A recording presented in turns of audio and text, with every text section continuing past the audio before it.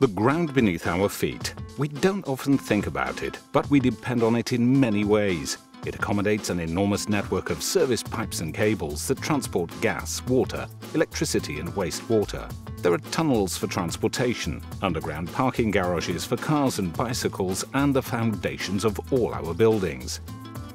We also use the subsurface for our energy supply, to extract gas and oil. In addition, new technologies are making it possible to store energy and use energy from sustainable sources. But of course, there are also the natural cycles under the ground on which we depend. The subsurface purifies water.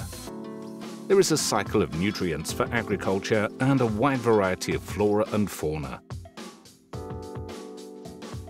There is also a lot of existing archaeological and geological information that we want to preserve for future generations. There's a lot going on in the ground beneath our feet. There are many different functions, each one of them of importance. They can hinder one another or complement each other, like reusing an empty gas field to store natural gas. But it is often impossible, for example, to extract natural gas and geothermal energy in the same place at the same time. What takes place in the subsurface is connected to the world above ground.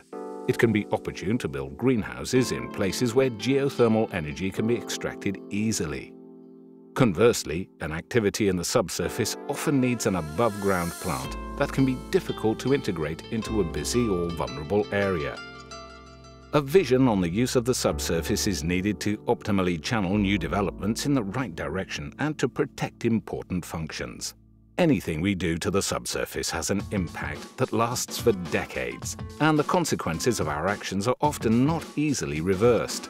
It is therefore important to make careful considerations. In this way, we can prevent problems from arising and not let opportunities pass by.